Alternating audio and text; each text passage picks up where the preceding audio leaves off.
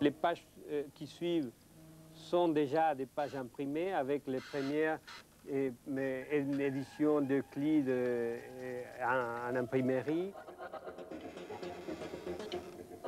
Il y a l'homme de la Renaissance, l'homme de Léonard,